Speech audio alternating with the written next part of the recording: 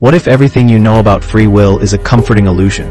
Imagine your every choice predetermined, each decision a complex dance of neurons, genetic programming, and invisible environmental triggers. Philosophers have battled this paradox for centuries. Are we truly autonomous or merely puppets of deterministic forces?